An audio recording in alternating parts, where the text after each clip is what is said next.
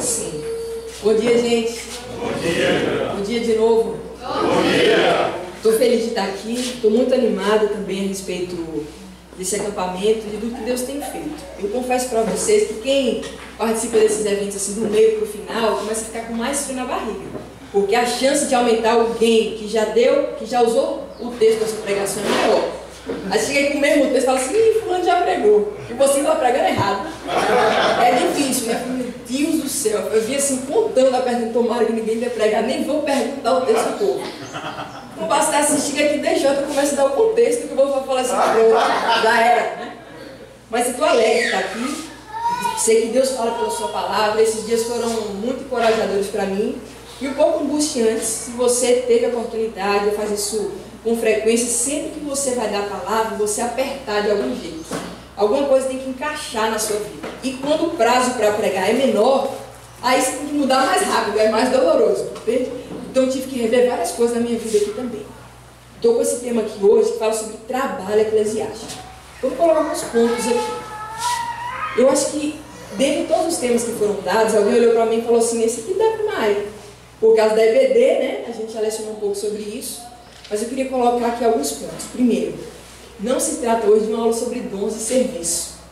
Eu não vou falar aqui sobre como você descobre os seus dons. Eu não vou falar aqui como você usa os seus dons na igreja. Eu vou me preocupar mais com o coração que se dispõe a trabalhar do que como trabalhar, como fazer coisas. Estou convencida de que o que a gente precisa hoje é de impulso de Deus para o trabalho, mais do que informação sobre como trabalhar. Então, olha só o que vai acontecer aqui a gente vai passar por um texto que é um pouco longo, e ao passo que a gente for lendo, a gente vai expondo e trazendo o texto. Tá tranquilo? Então olha só o que você vai fazer. Você vai abrir em Mateus. Abrir em Mateus.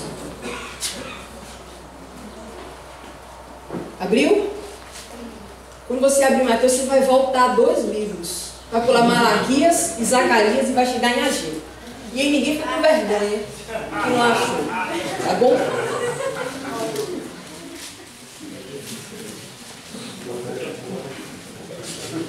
Vamos orar mais uma vez? Pai, nós estamos diante da Sua presença. Meu Deus, a Sua palavra ela tem poder sobre as nossas vidas. Ela mudou a nossa história inteira, meu Deus. Quero pedir nessa manhã que o Senhor nos enche da Sua palavra, Pai. Que o Seu Espírito esteja aqui. Que a Sua presença seja perceptível, meu Pai. Que hoje seja um dia marcado na história de cada um de nós aqui. Pelo poder da Sua palavra, nós queremos dizer ao Senhor que tu és a pessoa mais importante desse dia de hoje. Que se o Senhor não estivesse aqui, não valeria a pena chegar até aqui. Mas nós temos convicção, Pai, de quando nós nos reunimos, segundo a Sua vontade, Deus, por causa do Senhor, o Senhor se faz presente, porque é isso que está escrito na Sua palavra. Fala com o seu povo, Deus, nessa manhã. Eu te peço em nome de Jesus, Deus. Amém. Amém. Amém. Irmãos, olha só. Se você começa a ler a Bíblia, os cinco primeiros livros da Bíblia, que são Pentateuco, falam daquela história do povo até chegar na terra. Então vem lá Gênesis, Êxodo, Número, Levítico, Deuteronômio. Para. Moisés morre, passa o bastão para Josué e começa o tempo do povo na terra. Né? Então Josué, Ruth, Josué, Juízes, Ruth, primeira e segunda Samuel, depois tem o primeiro e segunda Reis, depois primeira e segunda Crônicas. Encerra o tempo do povo na terra na terra prometida. Depois eu tenho mais três livros. Eu venho com Esdras, Neemias e Esther, que é o tempo pós-exílico. Vocês já cresceram um pouco na igreja e sabem. Você sabe que o povo, ele andou um pouco na terra, morou lá muito tempo, se desviou e como resultado do seu coração pecaminoso, eles foram levados para o exílio como escravos na Babilônia. Eu vou trazer um texto hoje aqui que fala sobre a volta do povo. E justamente esse período que o povo está voltando da escravidão para a terra de novo. Lá para o ano 538, o rei Dario, movido pelo Senhor, segundo a profecia, manda o povo voltar. Podem ir para a sua terra, vão construir o seu templo. O povo volta. Quando chega lá, o templo está aos escombros. E eles têm que reconstruir. Esse é um período de muito trabalho, porque está tudo do zero praticamente. Tem que reconstruir o templo, tem que reconstruir as muralhas, eles têm que reconstruir as suas casas, as suas próprias vidas. É um cenário que é de ruína, ruína, ruína. Sabe quando chega assim pós-guerra? Está tudo zero. E eu tenho que trabalhar. Esse é um período de muito trabalho. Muito trabalho. Olha só, o povo volta. Então eles lançam os fundamentos do templo, estabelecem o altar e começam então a edificar. Mas de repente eles veem muitas dificuldades para continuar. O que acontece? Além da pobreza, além de tudo que eles vinham sendo traumatizados durante o período todo, existia a perseguição dos samaritanos. O povo que morava no norte, que no começo era judeu, mas depois se desviou e virou do mundão e começou a misturar a sua forma de culto. Né? Então eles tinham um culto corrompido. Um culto corrompido. Falou assim, a gente quer ajudar vocês. Não deixa a gente ajudar vocês com o seu tempo. O judeu sangue puro falou assim, não, fica vocês na sua, cada um no seu quadrado, vocês não se misturam com a gente, não quiseram. Aí os samaritanos começaram a persegui-los. Começaram a mandar cartinha para alguém, contando mentirinha, inventando história, oprimindo, e o povo teve que parar. Inventaram muitas coisas. Parou-se a construção do templo. Meu irmão, isso demorou 16 anos, o templo parado. E essa era uma ordem que Deus tinha dado, para lá o templo parado. Aí o que acontece? Lá em Esdras, Deus fala que Deus levantou naquele tempo para profetizar Ageu, Ageu e Zacarias. Se tivesse no pergaminho assim, um espaço para hiperlink, e você estivesse lendo Esdras, se ia clicar no capítulo 5, ia mudar para o livro que está aberto agora na sua mão, que é o livro de Ageu. Então eu vou falar de uma história hoje que é uma profecia de Ageu, que o contexto está lá em Esdras. Tá tranquilo? Então eu vou começar do capítulo 1, tá? Vamos ler tudo. Vamos ler do 1 Até essa primeira é. Só um momento. Vamos ler do verso 1 até o verso 11. Todos juntos, no 3, tá? 1, 2, 3. No segundo ano do rei Dário, no sexto mês, no primeiro dia do mês, veio a palavra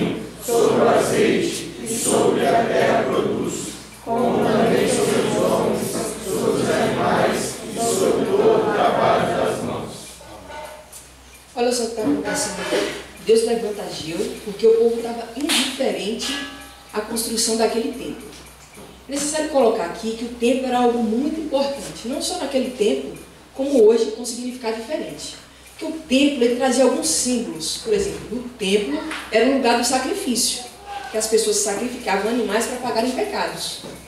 O que apontava para um futuro de um sacrifício que viria de uma vez por todas cobrir todo e qualquer pecado. No templo também atuava um sacerdote, que era um mediador entre Deus e os homens. Uma pessoa que fazia intermediação para que as pessoas não fossem consumidas pela santidade de Deus. O que apontava também para um futuro em que Deus enviaria para o povo intermediador, que faria essa ponte entre eles e Deus de maneira que eles fossem religados. O templo era, em suma, o significado da presença de Deus no meio daquele povo. Quando eles param de construir e não dão muita atenção para aquilo, é como se não fizesse muita diferença se a gente vai construir ou não, se a gente não está muito assim, se importando com a presença de Deus na nossa vida. É isso que estava surgindo. Quando Deus olha isso, ele fica muito zangado. Então ele levanta aqui os profetas para falar, Azeu e Zacarias. A gente está aqui em Ageu. Olha só o que acontece. Quando eu falo aqui sobre serviço eclesiástico, é muito importante que você não entenda assim, serviço eclesiástico. Eu fazendo alguma coisa no templo da igreja. Vamos colocar algumas coisas. O templo hoje é você. Sabe, Pedro fala assim: Não sabeis vós que são habitação do Senhor, templo de Deus, morada do Espírito Santo. Agora Deus nos fez templo. O Espírito Santo está em você, se é que você creu e tem o Senhor Jesus. O Espírito Santo mora em você. Você hoje é o templo. Mas você continua tendo funções você tem que testemunhar, continuar testemunhando o sacrifício de Jesus que foi feito na sua vida. Você continua apontando para o Cristo que virá a segunda vez. E onde você está, você é o representante do Senhor, porque você tem a presença de Deus na sua vida. Serviço eclesiástico hoje se refere à maneira como nós, templo de Deus, atuamos para a expansão do reino de Deus e seus propósitos nessa terra. Fazer a glória de Deus conhecida no mundo inteiro através de Jesus mostrando Jesus redimindo todas as coisas. É disso que a gente vai falar hoje. Quando a gente se levanta e grita com o povo, fala assim: olha só essa indiferença de vocês. Reverbera para nós hoje como: olha só a indiferença de vocês com o chamado que eu tenho para vocês, no sentido de ser templo. Então Deus vai primeiro aqui fazer várias coisas. A primeira coisa que Deus chama é para um alinhamento de coração.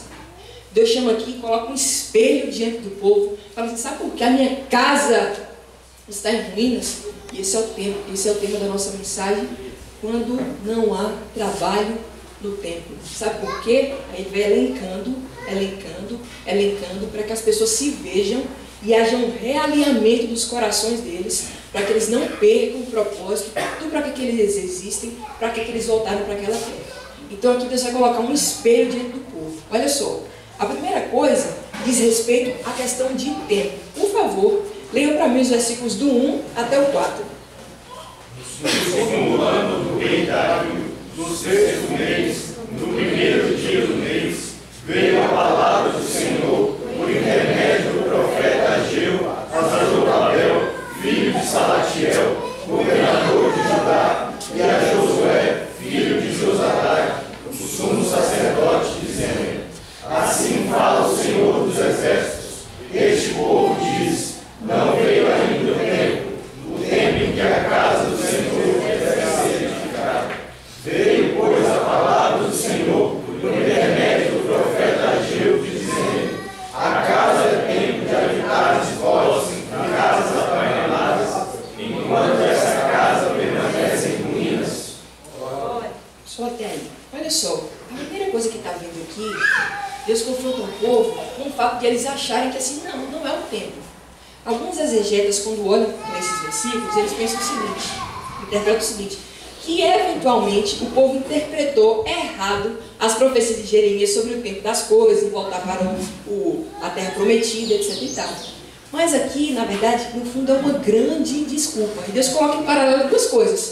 Como pode haver tempo para vocês edificarem as suas casas e não há tempo para vocês edificarem a minha casa? Deus coloca essas duas coisas aqui. Tempo.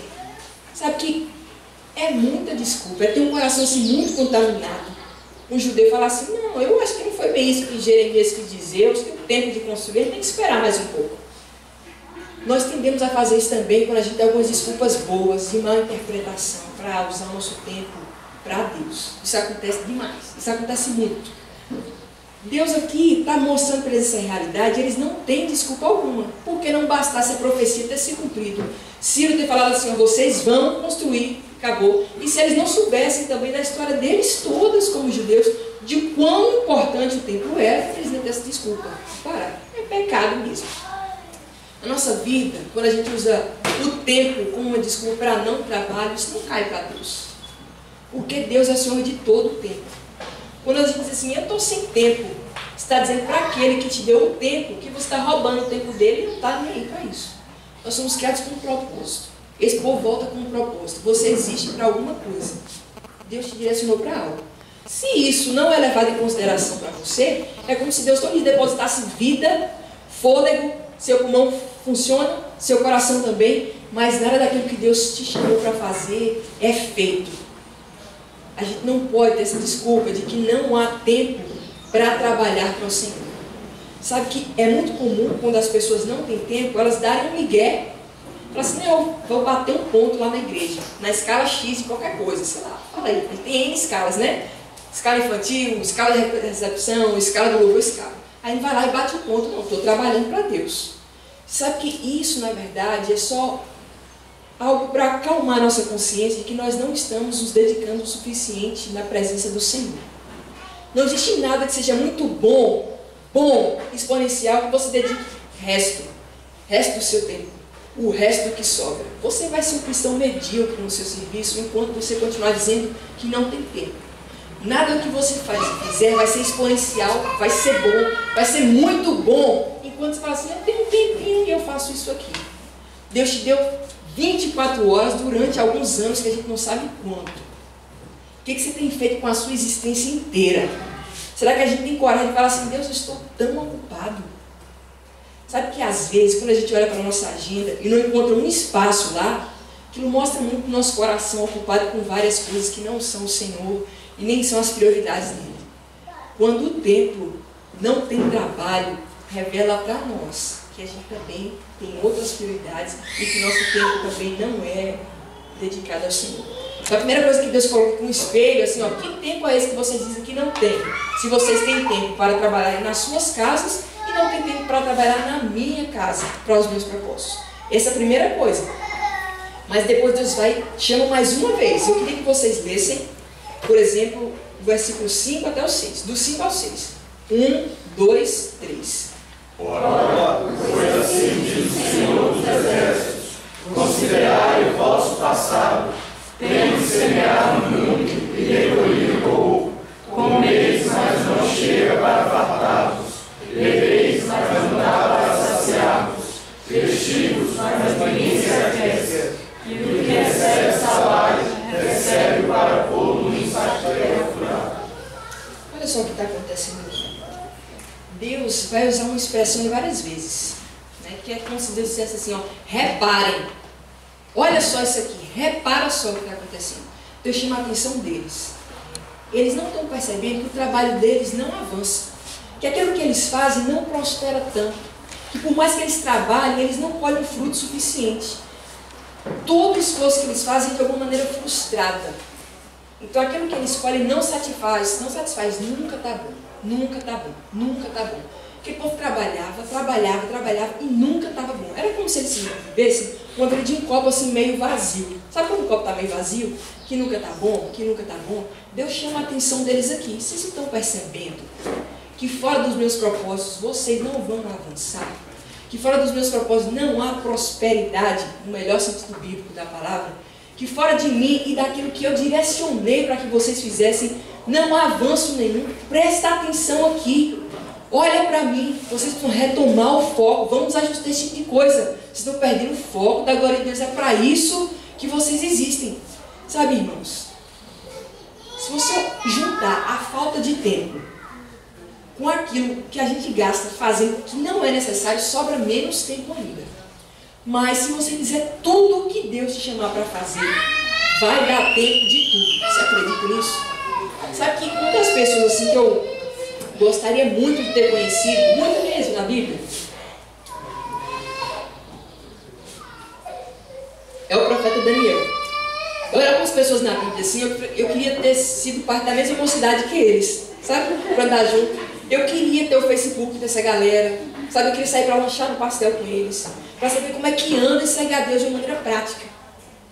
Daniel tinha isso. Gente, agora você imagina. Olha a história de Daniel, todo mundo, né? A maioria conhece. Sai eles lá, de Israel, vão para a Babilônia e eles vão passar num teste. Meu irmão, passar num teste. Três anos. Primeiro, o teste é oral, é na língua que eles vão agora. Caldeia, eles não vão falar mais aramaico, hebraico, nada disso. vão ter que saber a língua, os costumes e tudo mais que diz respeito à administração do tempo, do palácio, disso tudo. Ninguém tinha assim 17 anos por aí. Rapaz, eu tinha que estudar muito. Se existe uma coisa que toma no nosso tempo hoje, é estudo. Fala isso não é. É estudo para vestibular, é estudo para concurso, né? É estudo para pregação, a gente estuda muito. Fala isso não é. Em Brasil, então. Em Salvador nem tanto, mas em Brasil só Meu irmão, quando eu olho para Daniel, assim, gente, não tem aplicativo para traduzir. Sabe o que é isso? Não tem aplicativo para traduzir. Não tem caneta BIC, não tem luz elétrica, você não tem as facilidades de hoje. E o cabra parava três vezes no dia para orar. Não era assim, orar não. Era aquela oração de judeu. Sabe como é que é? O negócio demora, trem é bom. Você já assim, já está na hora de voltar. Sabe? Era assim. Tinha tempo. Não só isso, tem coisa que ele chega ao posto na Babilônia, de governador, colocar a Babilônia era um império enorme. Sabe que você ser governador, meu irmão, você tinha muito serviço. Muito serviço, muito serviço. Rapaz, Daniel orava três vezes ao dia e estudava a Bíblia. Você encontra Daniel estudando as profecias de Jeremias. Falou assim: Olha, entendi pelas profecias que a quantidade de anos no cativeiro vai se dar é X. Falou assim: Meu pai, como é que pode ser isso? Gente, há tempo, quando o nosso tempo é empregado no Senhor. E ele era excelente em tudo que ele fazia.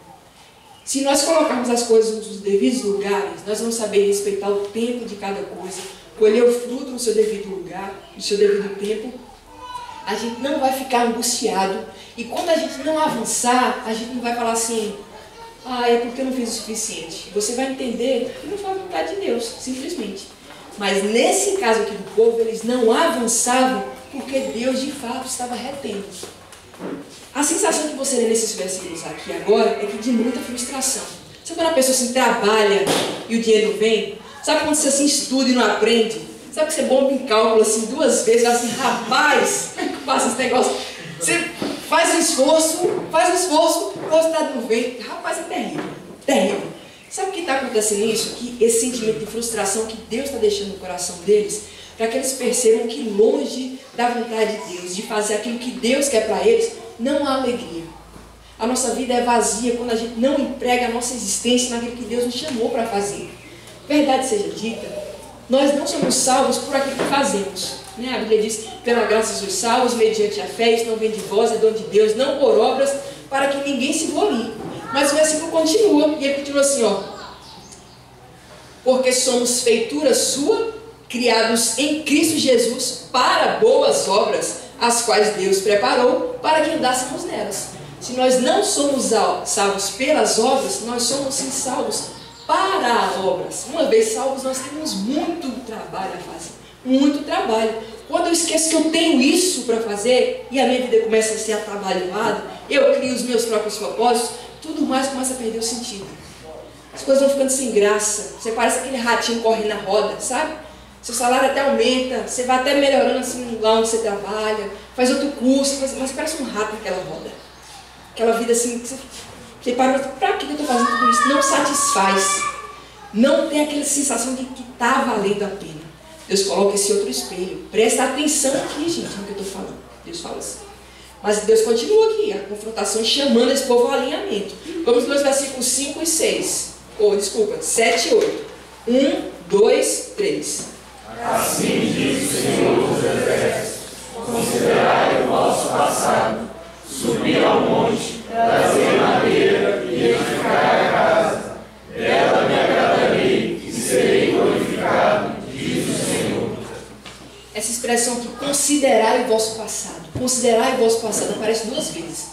É como se Deus dissesse assim: ó, repara, repara só Será que você está percebendo que esses sinais de você trabalhar e não colher, de os céus estarem fechados, de o salário mudar, já é um negócio antigo? Vocês estão lembrando que esse negócio é de quando vocês se desviam?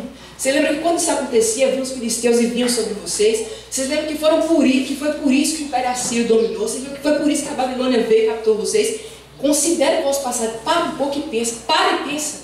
Quando a nossa vida começa assim, a ficar um pouco sem graça, sem fruto, quando a gente começa a se rodar em muito trabalho, não esforço, para um pouco para refletir. Para e pensa, considera. Será que você está mesmo no centro da vontade de Deus? Você está correndo para algum lugar? Deus fala assim, para e pensa. Esses dias, irmãos, Sabe que eu registro na minha agenda lá desde quando eu tinha 16 anos. Todo ano tem uma agenda minha, né? E eu vou registrando, registrando, registrando, nem sempre todo dia, mas algumas experiências e tal. Eu ia trazer para vocês aqui um fragmento de um dia desses, um dia desses escuro. E lá tinha algumas frases e eu falei, meu Deus, eu passei por isso. Você perceber que é normal que o crente eventualmente passe por esse tipo de coisa. Fala assim, meu Deus, será que está valendo a pena tudo que eu estou fazendo? Será que está valendo a pena o que eu estou trabalhando, como eu estou servindo? E lá tinha algumas frases assim, eu fiquei assim impressionada, porque eu tinha sido muito sincero no dia. Vou compartilhar com vocês. Aí eu escrevi assim, tenho chegado à conclusão de que não tenho conseguido alcançar as minhas metas nesse ano. Os meus esforços têm sido por demais escapistas e eu procuro escapar de tudo que eu estou fazendo. Bom, eu escrevi lá. Que Deus me ajude a sair desse replay semanal, porque as minhas energias estão na reserva. É um negócio. Eu falei assim, rapaz, Deus, você viu que eu não menti, mas que foi difícil passar. Mas o mesmo Deus que te mostra a situação que você está, e eu vi naquele dia, é o mesmo Deus que te tira dessa situação e coloca numa situação de abundância. Uma situação onde há muitos frutos. Uma situação onde você consegue frutificar o suficiente para a glória de Deus. A gente passa por essas coisas mas nós não precisamos e não devemos ficar a vida inteira nessa situação. Se você está ouvindo essa palavra hoje, sai dessa roda do ratinho. Repara, como diz o Senhor. Considere o seu passado. Existe alguma coisa para mudar? Mas no versículo seguinte, Deus fala assim: olha, retorno do trabalho, subir a monte, pegue madeira, construa esse negócio. Às vezes a gente vem na caminhada cristã trabalhando para Deus e por algum motivo a gente para. Seja perseguição, como os judeus aqui foram perseguidos, eles foram parados de perseguir, né? pararam de trabalhar por perseguição, seja outros motivos, né? comodismo, sei lá, a gente tem N razões para parar. Se você parou e deixou alguma coisa assim na metade, inacabada, eu falar para vocês de retoma esse negócio, conclui isso. Sabe que muitas vezes a gente fala assim, não, eu já fiz tanta coisa, né? Principalmente assim, quem já passou muito tempo na igreja, diz, nossa, já fiz muita coisa, viu? Fiz isso, fiz aquilo, fiz aquilo, vou aposentar. Meu irmão, bota a mão nesse arado, porque no reino de Deus não tem aposentadoria. Nem aqui, nem na glória. Até no Brasil está acabando a aposentadoria. Quanto mais no reino de Deus, irmão. Você esquece esse negócio, você nunca vai parar de trabalhar. Ou você se apaixona por Deus, pela glória de Deus e trabalha, ou você vai citar a sua vida, porque parar de trabalhar você nunca vai, nem aqui, nem na glória. Retoma, bota a mão nesse arado. O que foi que você deixou de fazer que você fazia antes? se você visitava, se você pregava, eu não sei o que você fazia para a expansão do reino de Deus, qual era a sua parte dentro do reino de Deus que competia a você, que você largou e está lá, parada. Ninguém vai ocupar, viu? Se Deus chamou, é para você mesmo fazer, não é outra pessoa, não. Pode até estar tá avançando, avançando, mas Deus está esperando que você faça. É você mesmo. Amém? Amém. Para cima. Versículos 9 e 11, todos juntos. Um, dois, três. Esperaste muito, e eis que veio a ser pouco. E esse pouco, quando trouxeste para casa, eu com assopro dissipei. Porque, diz o Senhor dos Exércitos, por causa da minha casa, que permanece em ruínas, ao passo que cada um de vós corre por causa de sua própria casa. Por isso, os céus sobre vós retêm e a terra os seus frutos. Pode ir. a seca sobre a terra e sobre os montes, sobre o cereal, sobre o vinho, e sobre a colheita, e sobre a terra que produz, como também sobre os homens, sobre os animais e sobre todo o trabalho das mãos.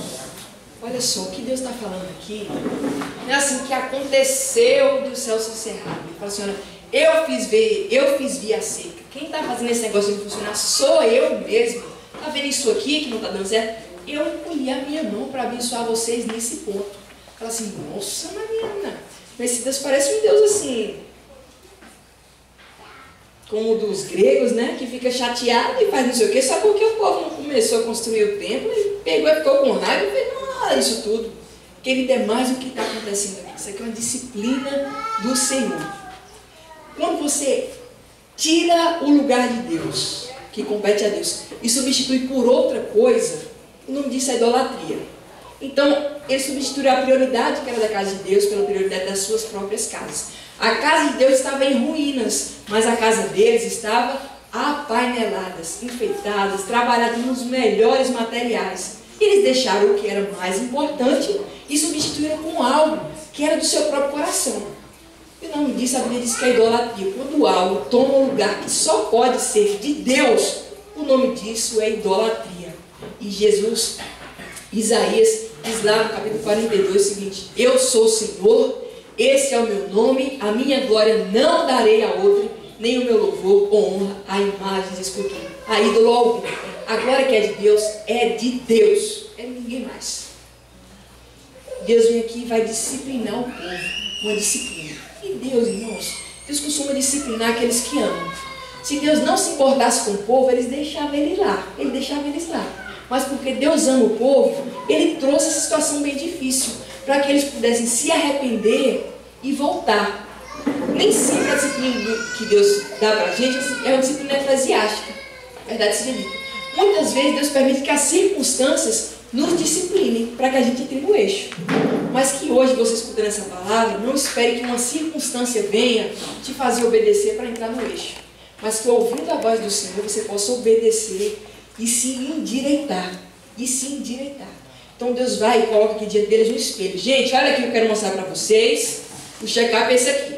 Não há trabalho no tempo porque vocês estão desalinhados. É isso aqui. Que nós não sejamos este tipo de igreja hoje que é assim, rica, próspera, bem estabelecida socialmente, intelectualmente muito bem desenvolvida e fria.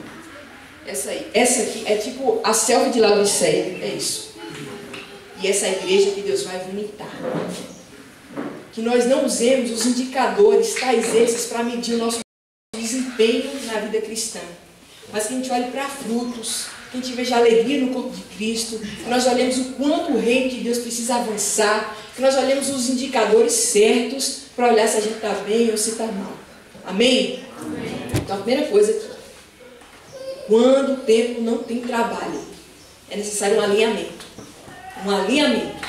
Mas também a Bíblia nos mostra que quando não há trabalho no tempo, é tempo de despertamento. Glória a Deus. Eu queria te chamar para ler aí o capítulo 2, dos versículos 12 ao 15. Desculpa, 1, versículos 12 ao 15. No 3. 1, 2, 3. Então Zorobabel, filho de Salatiel, e Josué, filho de Zorobabel, sumo sacerdote, e todo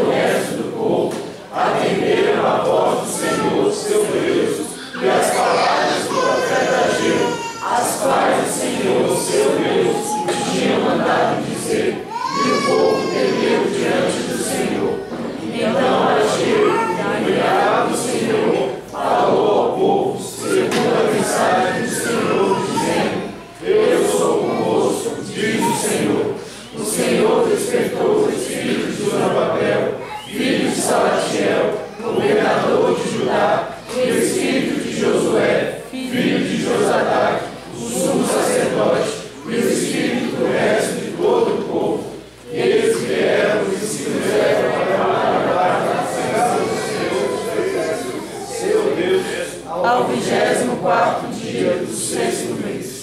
Olha só o que aconteceu aqui. Deus despertou o povo. O povo que estava assim letárgico, passava pelo tempo, falou assim: é, precisamos acabar essa obra. Que dia? É, qualquer dia. De repente eles se aprumam e voltam ao trabalho. Mas eu queria chamar a atenção aqui para o fato de que, quando não há trabalho no tempo, Deus chama o povo a um despertamento, mas ele faz isso através da profecia. Louvado seja Deus. Sabe nos versículos 12 e 13, também lá no começo do capítulo 1, que Deus levantou um homem para profetizar, para falar a palavra de Deus. Sabe, Provérbios tem um versículo assim maravilhoso, que ele diz assim, olha, onde não há profecia, o povo se corrompe. Ponto. Mas o povo que guarda a lei, esse é bem-aventurado.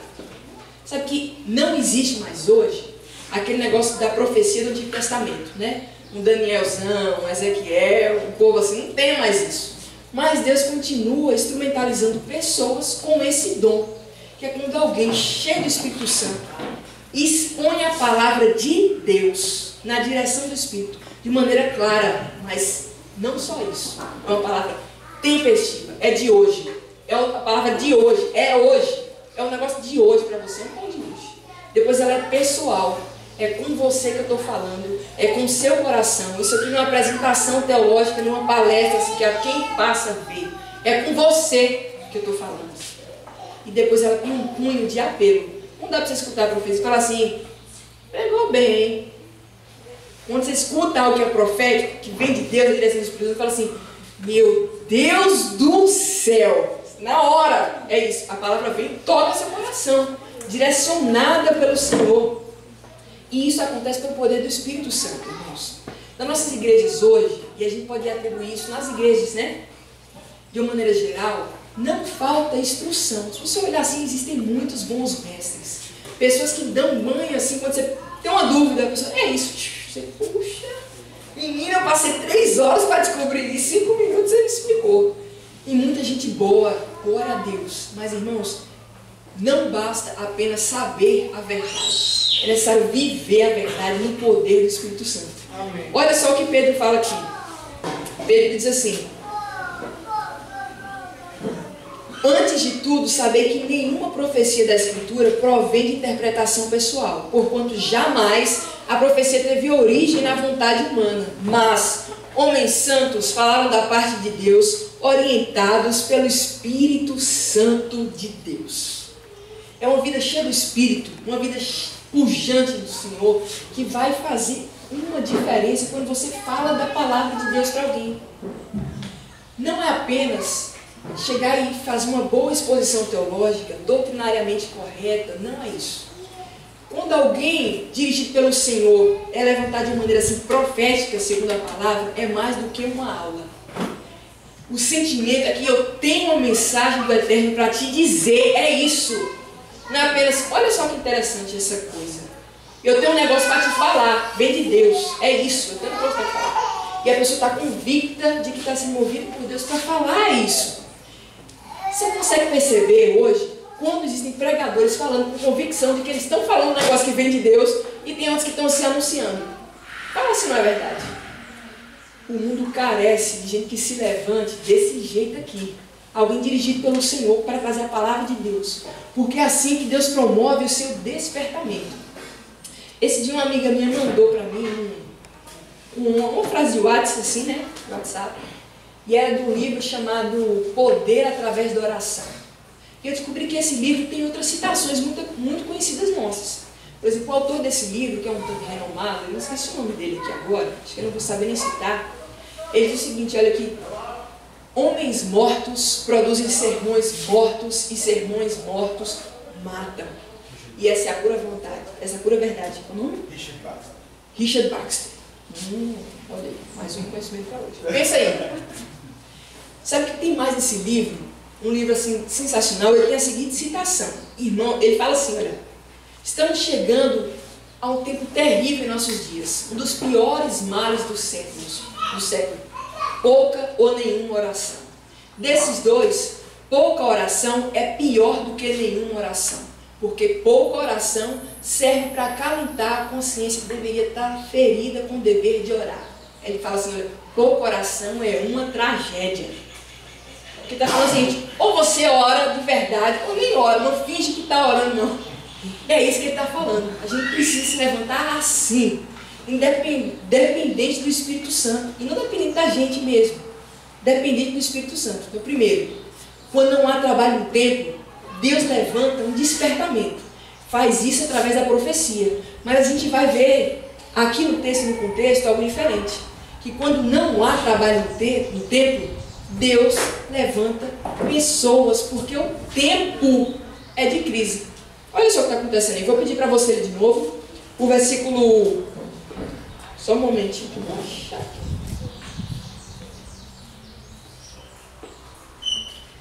O versículo 14.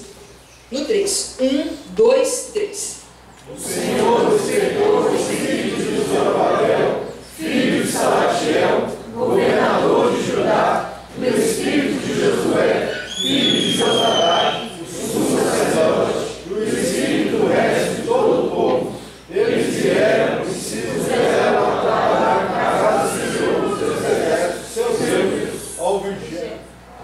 Amém. Olha só, apesar de não haver muitas descrições aqui, se você olhar, esse governador que está aí, ele está governando sem muita autonomia. Não tem nem muros ali em Jerusalém ainda. Esse sacerdote que está exercendo o ofício aí, ele não tem nem templo ainda. E o povo que Deus está se referindo é um povo também que já está se desviando. Tudo nesse contexto é de ruínas e de reconstrução. Em tempos assim, que você não vê nada, que parece algo muito escasso, em tempos difíceis, em tempos em que há desvio do Senhor, em tempos onde a verdade é corrompida, em, em tempos onde o templo não é reverenciado, onde a presença de Deus não é reverenciada como deveria, Deus levanta pessoas. Talvez eu estou falando assim com algumas pessoas que Deus vai levantar aqui hoje. Olha só o que aconteceu. Se você olhar assim no tempo dos juízes, o mote do livro é o seguinte: naquele tempo não havia rei Israel, cada um fazia o que achava melhor. Era assim. Caos, caos mas vez ou outra Deus levantava um juiz ali. E era assim: veio o Espírito de Deus sobre Jefté, e ele liderou Israel durante X anos. Veio o Espírito de Deus sobre Otoniel, e ele liderou Israel sobre X anos. Veio o Espírito de Deus e tomou Gideão, e ele liderou Israel sobre X anos. Veio sempre o Espírito de Deus e alguma coisa fez. Deus levanta gente. Deus levanta gente. Talvez você olhe assim e fale assim, Mariana, mas olha só, esses juízes, assim, eles eram poucas tronchos, né? Se olhar para Assunção, por exemplo, né? Mas olha só, os juízes são figuras de um tipo de Cristo que viria. Que viria alguém no futuro, ungido por Deus, que governaria o povo de uma maneira duradoura, perene, segundo a palavra do Senhor, a sua vontade. Apontam para um futuro. Mas eles também demonstram que Deus usa pessoas imperfeitas. Apesar de nós, Deus nos usa. Se você olhar da igreja, olha só, tempos difíceis, Deus levantou pessoas. Quando a Bíblia era escondida, quando a verdade era oculta, Deus levantou que alguém, um homem leu, o justo viverá pela fé. Surge Lutero, na Escócia e na Inglaterra. E nos dias de hoje Deus vai levantando pessoas quando está tudo dando muito errado. Quando as coisas são ruins, Deus levanta gente. Eu estou falando aqui para vocês porque os nossos tempos também são ruins, são dificílimos. A gente tem que ir na contramão dessas coisas trabalho. É um tempo de trabalhar. É um tempo que Deus levanta a gente para trabalhar. Estou falando com você aqui, mas é de Deus essa palavra. Trabalha. Por mais que pareça assim tudo muito difícil, assim, será que é possível mudar isso? Eu vou me levantar para quê? Eu não vou fazer diferença nenhuma no mundo. Juntando esse ponto aí com o passado, a Bíblia conta a história lá de Ezequiel, capítulo 37. O Espírito do Senhor toma Ezequiel e leva-o a um vale de ossos secos numa visão. E Deus pergunta assim: Ezequiel, filho do homem, podem esses ossos reviverem? Ele responde e assim: Senhor, tu sabes. Porque era difícil aquele negócio aquele. Senhor, tu sabes. Ele diz: profetiza ao vale de ossos secos. Assim diz o Senhor. E ele fala a palavra de Deus, não que ele quer. Gente, e do meio de um vale de ossos, Deus levanta um poderoso exército. Aqui no livro de Ageu, direto, Deus fala assim: Diz o Senhor dos Exércitos, diz o Senhor dos Exércitos, diz o Senhor dos Exércitos. O Senhor dos Exércitos levanta para si mesmo o seu próprio exército. Fala a palavra de Deus e fala no poder do Espírito Santo que Deus levanta as pessoas. Deus levanta os mortos. Tem dia que chega na igreja assim, meio leve. Alguém prega no poder do Espírito Santo e fala assim: Glória a Deus! estou viva, estou de volta, conta comigo, eu vou, dia tal lá, eu vou fazer esse trabalho aí. Deus faz isso pela sua palavra e Deus levanta gente. Que você se disponha a ser essa pessoa que Deus deseja levantar. Amém? Amém? Mas vamos avançar aqui, vamos avançar aqui. No versículo 14 e 15, a gente já viu aí que Deus desperta o corpo quando não há trabalho no tempo, pela profecia, é em tempos de crise, mas ele também desperta para o trabalho e com o trabalho. Vamos ler os versículos 14 e 15 do 3? 1, 2, 3. O Senhor despertou o espírito de Zorobabel, filho de Salatiel, governador de Judá, e o espírito de Josué, filho de Josadá, sumo sacerdote, e o espírito do resto de todo o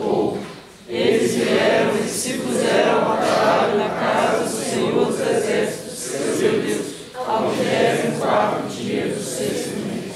O que o texto está mostrando para a gente? Que o despertamento não é só emoção. Que quando a gente vai para alguns ajuntamentos, assim, volta de congresso, tudo, e assim, nossa, foi muito bom. Aí depois, para. Uma pessoa realmente despertada, ela trabalha. Todos os despertamentos legítimos na história da igreja são marcados por trabalho. Por trabalho. E aqui o texto bota uma data, eles voltaram a trabalhar no dia tal. Porque você consegue ver os despertamentos da igreja por aquilo que foi realizado pelo povo despertado. E não pela maneira como o povo se sentiu, mas pelo que eles fizeram depois de despertados. Deus nos chama de despertamento. Há um trabalho. No livro de Juízes, um dos episódios, os inimigos cercam o povo de Deus e Deus levanta duas pessoas, Débora e Baraque. Depois que eles vencem os inimigos, surge o cântico de Débora. E ela diz assim, no estrofe, que até o mote que deu é, origem àquele ministério chamado Desperta Débora. Né? Assim, desperta Débora, desperta! E ela diz assim, quando eu me coloquei por mãe de Israel, esse é o termo, mãe de Israel. Quando eu desperto o povo, quando eu desperto pessoas, o sentimento que a gente tem é de que a responsabilidade é nossa. Você não vai querer delegar para uma pessoa o que Deus te chamou para fazer. Você não vai também esperar para ser feito. Você vai fazer. Você não vai delegar para ninguém esse trabalho. Olha só, assim, quando eu me coloquei por mãe de Israel, o sentimento que está aqui, assim, eu quis proteger, eu quis guardar, eu quis responder por isso. Eu vou responder por isso aqui. Eu fiquei incomodada com a situação, eu quis acolher esse povo como estivesse embaixo dos meus braços. É isso que o canto quer dizer. Quando eu era criança, no interior, olha só o que a gente fazia. Não tinha Pokémon virtual. A gente sequestrava os pintinhos da galinha choca. Meu irmão, essa geração Nutella não sabe o que é emoção. Era você tentar raptar um pintinho se a galinha te pegar. Meu irmão, às vezes eu ficava com medo, porque nos dias normais a galinha corria de você, mas uma galinha choca. Rapaz, pega um pintinho assim, você correndo, correndo, correndo, meu pai vai me alcançar e jogar. Pega o seu filhote. Você corre, medo, medo. Sabe a sensação que você tem de quando você é responsável por alguma coisa, você se torna valente. Você não fica medroso. Não fica medroso, não, não sei se eu É meu esse negócio, eu vou responder por isso. Esse trabalho é meu, acabou, compareci, tô aqui, ponto. Você fica correndo, se esquivando. Não, não é isso que acontece. Ela se colocou por mãe de e falou: vamos à luta, vamos à luta. É isso que está acontecendo. Vamos à luta, vamos à luta. A pessoa está disponível, disposta a trabalhar. Tem que haver esse sentimento na gente. De se despertar e falar assim, não, esse negócio aqui é minha responsabilidade. Está vendo esse prédio aqui? Todo dia tem um tal de um batuque, sábado de noite, esses jovens aqui. Esse negócio aqui é minha responsabilidade. Semana que vem, síndico, eu quero alugar o prédio. Para quê? Eu vou fazer um negócio, um movimento. Gente, eu não sei, mas vocês têm que ir lá para casa, o batuque acabar, vamos orar de 10 à meia-noite para não ter batuque. Glória a Deus. É meu, você entender que você vai responder pelo prédio. Ou responder pela sua repartição pública. Quando algo não está bom, fala assim, esse negócio é meu. Eu que tenho que responder por isso. Sabe que uma vez, tem sempre um simpósio na nossa igreja, né? Simpósio. Gente, pela primeira vez eu consegui levar duas pessoas no simpósio. Mas eu me esforçava, o povo não ia, não ia. Eu falei, sabe uma? E eu vou fazer o simpósio lá no trabalho, para você decorar. Aí assisti as pregações, né? Ia de Carlitos, ia do pastor, eu falei, hum, a turma quer comecei a preparar. Eu, eu vou me preparar para o simpósio, o povo não vem, então eu vou dar o simpósio. Se eu não souber responder, eu falei, eu vou responder depois. Acabou. Mas eu vou fazer isso. E tem gente interessada. Entende? Eu ainda não anunciei, não, sabe? Mas já dá para perceber um pouco. Esse negócio é meu. Se coisa der errada lá no prédio, no andar, isso vai me tocar. Se eu tiver despertado. Isso é a minha responsabilidade. Sabe que às vezes não vai, assim, ah, mas ninguém está indo. Que eu vou trabalhar assim? Só eu sozinho, a gente pensa isso muitas vezes. Eu lembro quando eu estava passando uma fase assim de desacreditar. Não desacreditar no, do evangelho, nada disso, mas eu estava vivendo assim uma forma bem da Odisseia, assim, sabe? Não só trabalhar, depois eu conquisto isso, eu não vou me desviar mesmo. Meu irmão, eu tinha deixado de crer assim, de que Deus poderia me surpreender em alguma coisa. Aí eu fui pro cinema um dia com o pessoal, assisti as crônicas de Nárnia.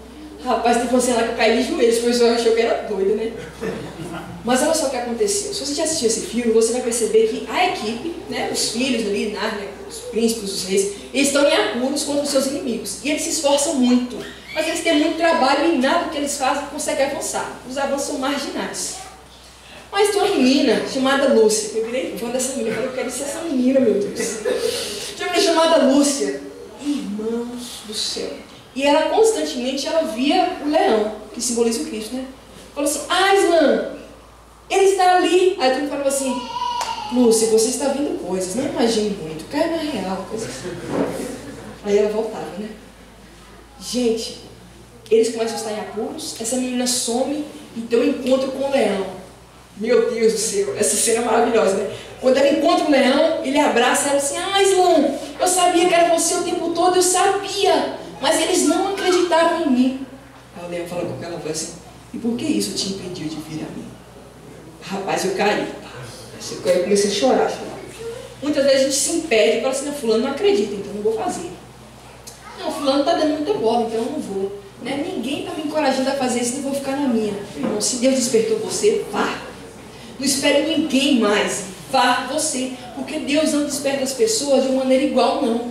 É com cada um de uma maneira diferente. Com cada um de uma maneira diferente. Se Deus está chamando para algo que ninguém mais dá bola e você sabe que é de Deus, vai você. Não espera o povo estar convencido e falar assim, ah, agora a gente vai. Não espera, vai você. Coloca amor nesse negócio e faz. Se Deus está chamando para isso, vai e faz. Quando eu morava em Salvador, estou contando história demais na história, né? Meu Deus do céu. Vou passar daqui a pouco. Olha só. Eu lembro que eu comecei a acompanhar as portas, a portas abertas, né? Aquela agência que acompanha missões no mundo, em países fechados. E eu recebi aquelas cartas, assim, às vezes eu ficava sem dormir, sabia? Ao entender a história dos cristãos, eu ficava assim, meu Deus, eles são meus irmãos, não posso fazer nada. Orando para que aqueles pastores fossem soltos daquela prisão, sabe? Orando para que chegasse mantimento, orando contra a perseguição, para que eles pudessem dar frutos ali orando, escrevendo cartas o tempo todo. Eu lembro que eu ia almoçar, às vezes não conseguia, quando eu tinha uma notícia muito forte a respeito do que estava acontecendo no campo missionário. Aí eu cheguei e falei assim, Fernão, falei com o irmão, ele é crente também, né? Fernão, olha só o que aconteceu no Iraque, isso, isso, isso, isso, isso, isso. Assim, ele, nossa, que difícil. Você não está incomodado? Ele falou assim, não. Aí eu falei assim, como? Eu não entendia isso. Mas Deus não desperta pessoas de maneira igual. Se você está sendo despertado para algo, não espera as outras pessoas ficarem sentindo o que você está sentindo. É com você. Deus levantou a língua, ele foi e falou. Você ficar olhando, ô Zacarias, vamos lá, primeiro você, depois ele. Não. Falou comigo, então eu vou, eu vou, vou lá e faço. A gente precisa ter esse sentimento de colocar a mão no trabalho. Deus despertou todo o povo aqui. Todo mundo trabalhando. Foi governador, sacerdote, o povo inteiro. Mas nem sempre isso vai acontecer.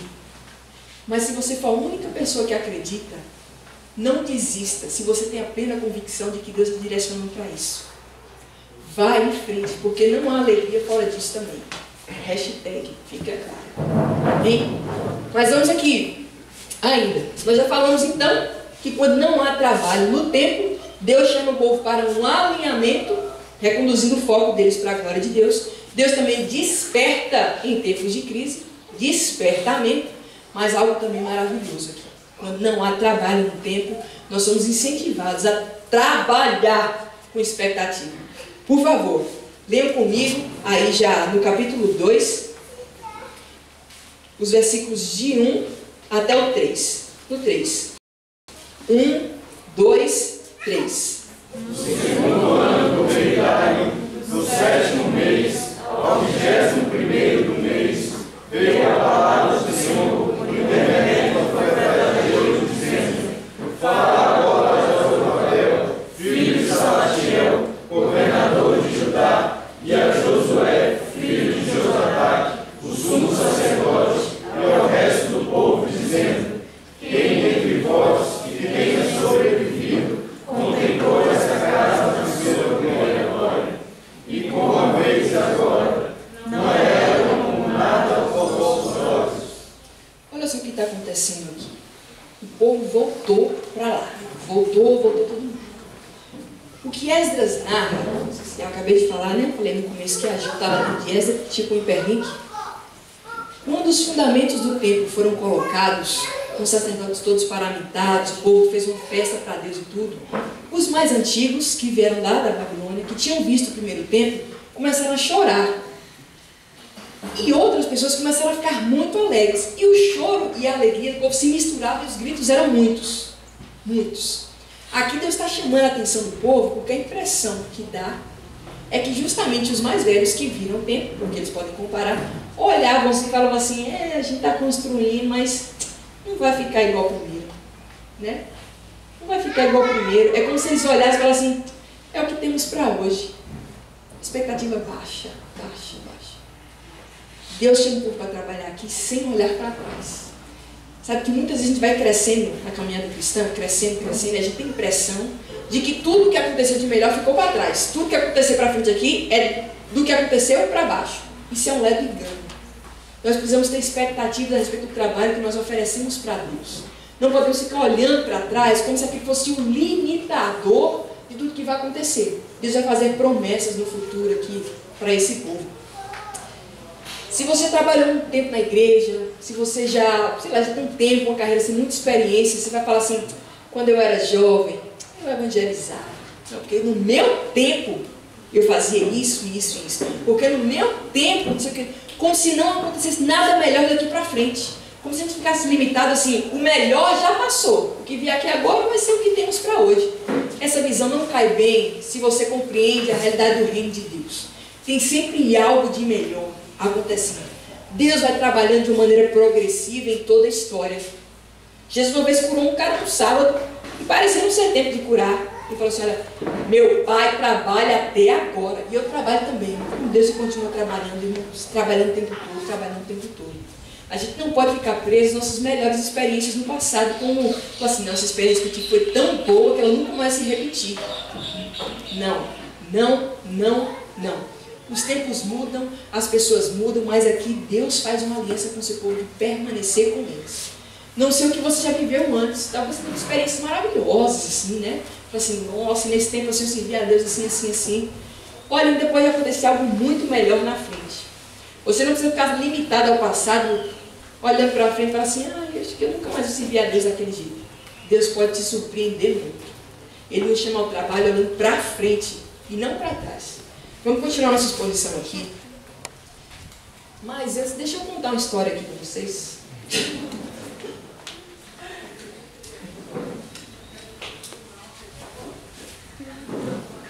Quando eu comecei a conhecer, quando eu comecei a conhecer sobre alguns missionários do passado, né? Eu me apaixonei muito pela história de William Carey. Esse cara era tipo um sapateiro inglês, cresceu na fazenda, pobre, estudou até os 12 anos, uma assim, muito humilde. Quando ele foi salvo pelo Senhor, ele se deu conta da realidade dos povos não alcançados. Naquela época, 1700 por aí, 70% do mundo não sabia quem era Cristo. Você tem noção? E ele ficou muito incomodado com isso. Muito incomodado com isso. Se tornou um pregador autodidata. Você tem ideia? Ele era tão interessado por isso que ele andava mais ou menos 14 quilômetros para ouvir um cara ensinar para ele hebraico, para ele melhorar um pouco a interpretação dele da escritura. Ele se tornou depois um doutor. Mas ele queria ir no lugar onde ninguém ia.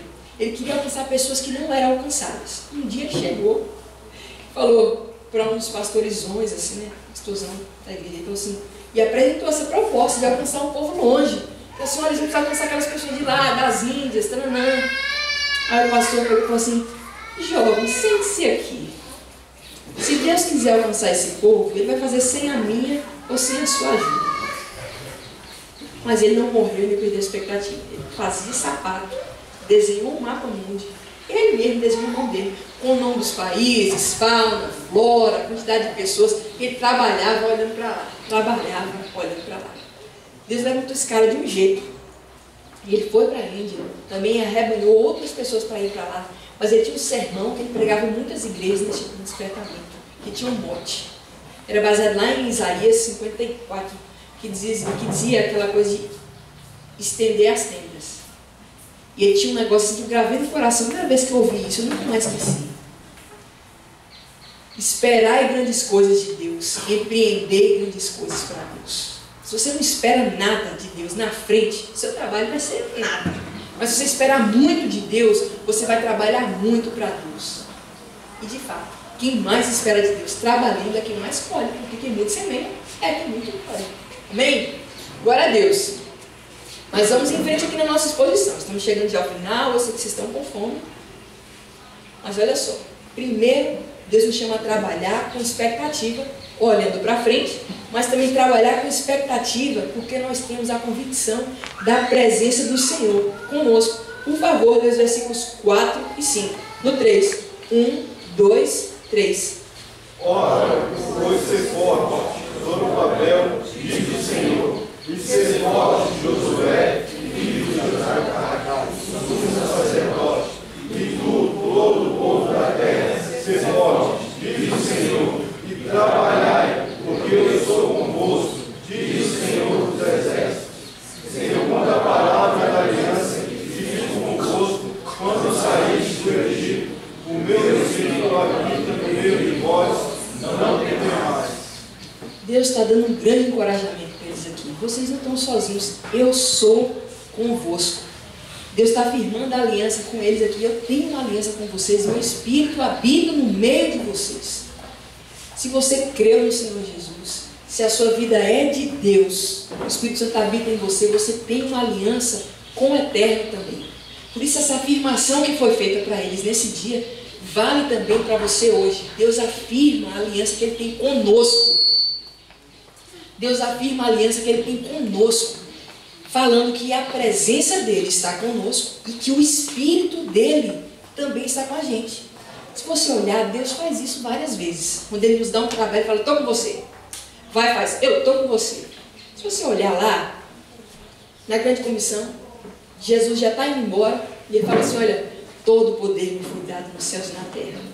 E depois de fazer discípulos de todas as nações, batizamos em nome do Pai, do Filho e do Espírito Santo, ensinando-nos a guardar todas as coisas que vos tenho ensinado, e eis que estou convosco todos os dias até a consumação dos séculos. Deus não, não nos manda para um trabalho para a gente ficar lá assim, desamparado. Deus sempre dá para a gente mais da sua presença, para a gente fazer a obra dele. A gente não faz com a nossa força, é na força do Senhor. E eu amo essa expressão aqui, meu Deus, porque eu sou apaixonada pela obra do Espírito Santo, pela atuação do Espírito Santo. Senhor, meu Espírito habita no meio de vós. Se nós tivéssemos a convicção de que o Espírito Santo está na nossa vida, de que o Espírito Santo está quando nós nos reunimos, nós até oraríamos de uma maneira assim mais audaciosa, sabe, com mais fervor, sem muito medo, porque Deus nos deu o seu Espírito, não por mérito, mas pela obra de Jesus, eu tenho livre acesso a Deus, um poder poderoso. O Espírito Santo é chamado de Paráclito, aquele que se coloca ao lado, o consolador, o fortalecedor. Deus fala assim: meu Espírito habita no meio de vocês, ser forte e trabalhe. Mas o que, que a gente vê hoje? É muito trabalho ou pouco trabalho? O que a gente vê hoje assim, muito dinamismo ou pouco dinamismo? Sabe que hoje é até difícil encontrar assim, gente entusiasmada na igreja. Quando ela está muito entusiasmada, ele está muito entusiasmado, veio e fala assim, ah, isso aí vai passar. Meu pai, dá vontade de falar, meu pai, vou dar um raduca nesse crente, assim, pra ele voar, assim, comendo, né?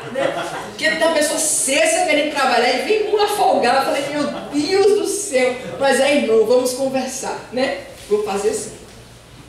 Deus nos enche do seu Espírito Santo para fazer a obra dele.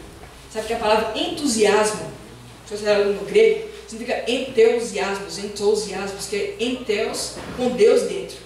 Como se entusiasmo fosse uma pessoa que está cheia de Deus. Isso é a palavra entusiasmado.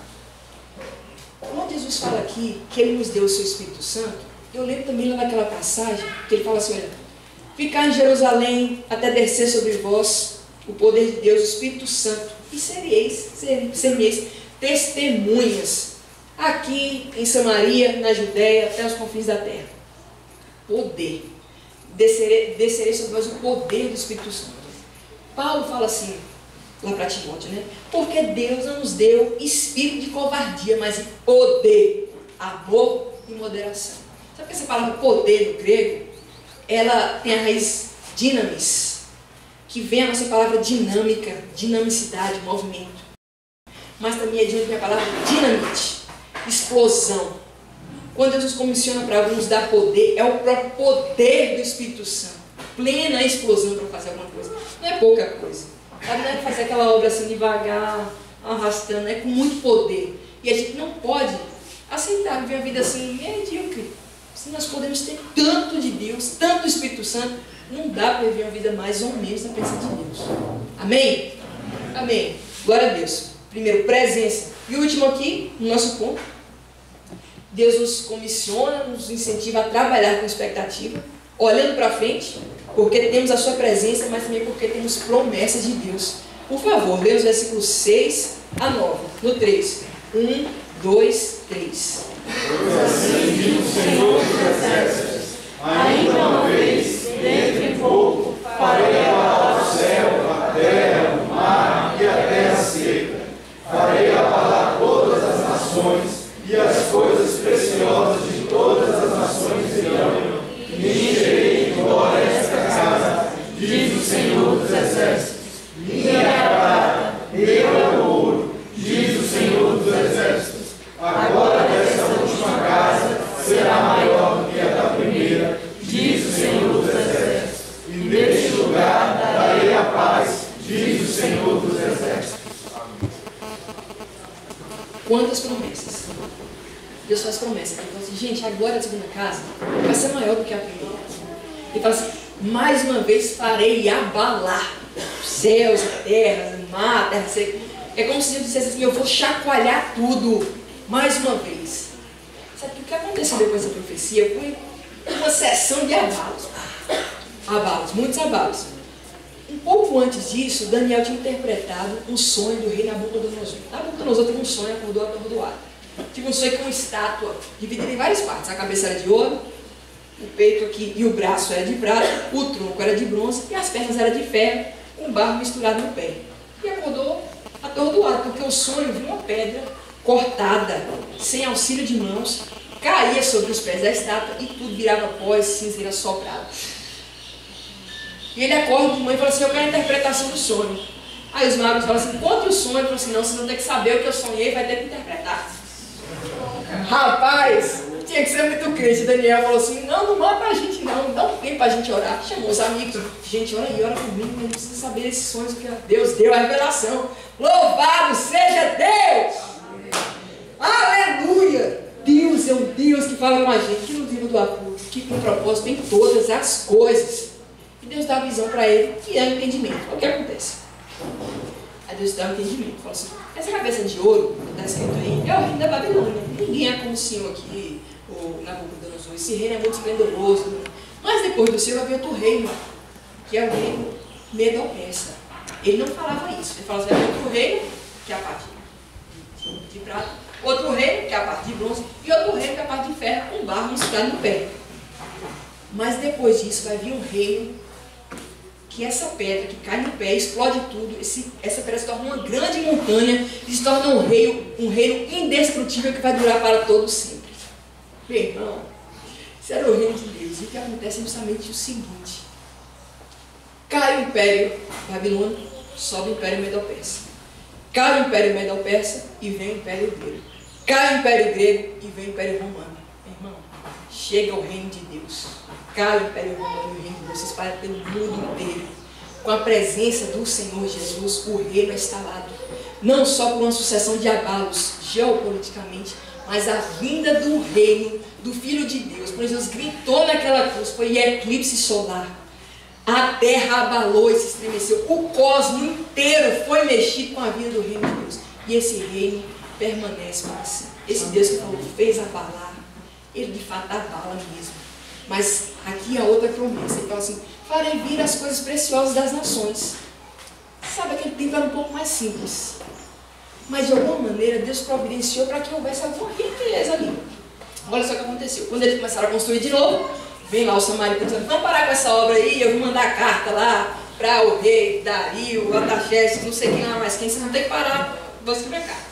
Quando a carta chega lá para o rei Dario, ele lê a carta e fala assim, hum, vamos entender bem essa história aqui. E ele consulta lá nos arquivos do Estado e percebeu, menino, que no passado Ciro tinha de fato liberado o povo para construir o templo, era permitido, e não só isso, tinha provisionado do tesouro real provisões para que eles pudessem fazer a obra.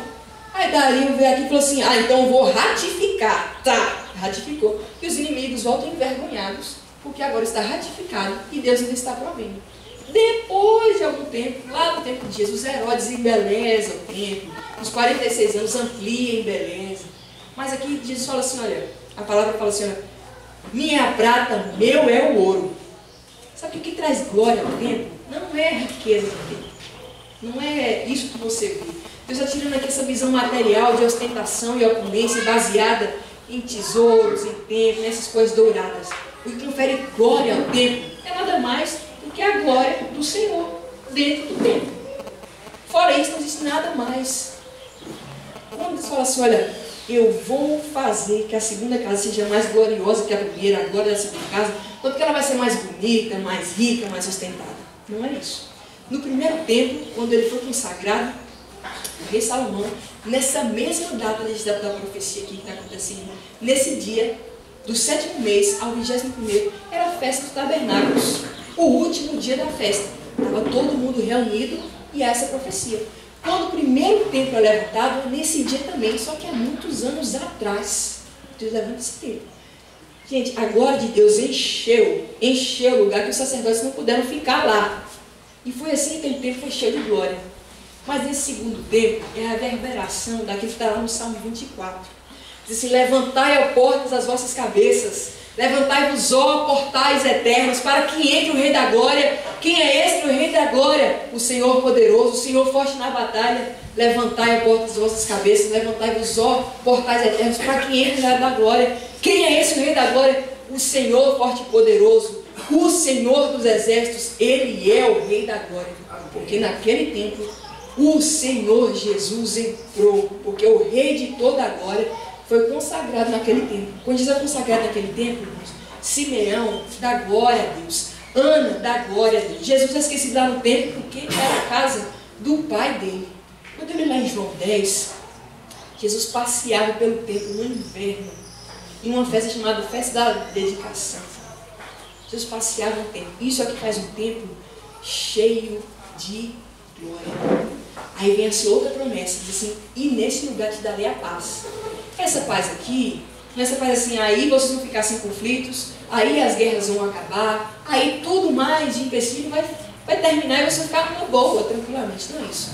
A expressão paz aqui é shalom, que do hebraico significa um estado de plenitude, que você não precisa de mais nada, que você está pleno, cheio, cheio, pleno. Quando Jesus vem, ele enche o templo com a sua própria glória mas depois ele é crucificado.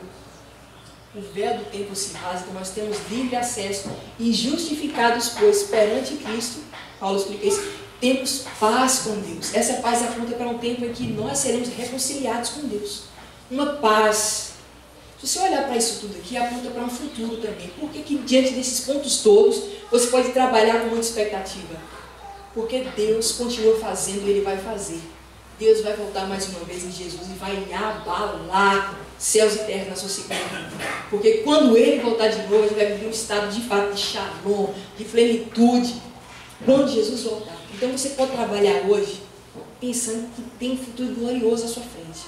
Não olha trabalhando olhando para trás, limitado com tudo que aconteceu, como se nada mais fosse acontecer na sua frente. Tem expectativa. Trabalha para esse Deus desejando muito e trabalhando muito como quem tem expectativa, não como quem é assim, um franzinho. Você precisa de gente que sonha, que acredita nas coisas de Deus, nos propósitos de Deus. Então aqui hoje a gente é encorajado, no primeiro momento, a nós refletirmos sobre o estado da nossa vida. Há um alinhamento de coração, as nossas prioridades com as prioridades de Deus. É para arrependimento, primeiro ponto. O segundo ponto é para despertamento. Seja ciente de que um trabalho cabe a você. Você. Mas aqui no terceiro ponto, é para que você tenha expectativa. Seu coração vai estar aqui explodindo de alegria, desejando algo que vai vir, que você pode trabalhar assim, não, eu vou trabalhar hoje, que amanhã vai acontecer isso e isso. não sei o que você sonha. Um dia tinha um amigo e ele pegou e falou assim, Marina, Deus me chamou. E eu sei que eu vou para o ministério. Ele falou assim, meu sonho é ter uma igreja desse, desse jeito assim, com os membros que a gente faça isso, fala que eu fiz. Assim, glória a Deus. Sonhando alto, estava sonhando alto, assim, eu falei, glória a Deus, tem glória a Deus, e vibrei, amei. A gente tem que empreender, de fato, o reino de Deus, assim como quem sonha alto. E às vezes a gente se limita muito, a gente se limita muito. Mas aqui hoje Jesus chama ao trabalho, ao trabalho. Amém? Vamos orar?